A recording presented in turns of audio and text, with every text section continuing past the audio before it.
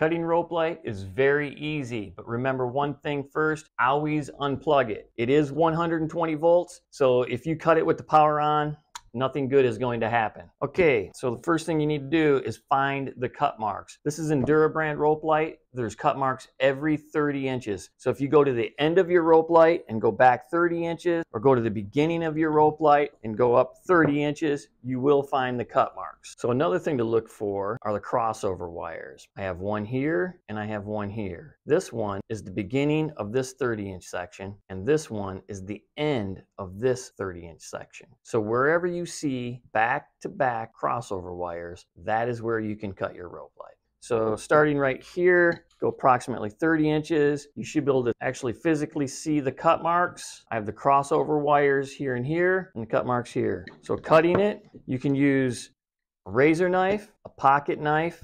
What we like to use here is tubing cutters. You see this blade right here. This is where somebody actually cut it when it was powered up. That's what happens to your blade when, that, when you cut it with the power on. So to cut it, Find your cut mark. I'm going to use the tubing cutters because I think this is the easiest. And go ahead and line it up and just cut through it.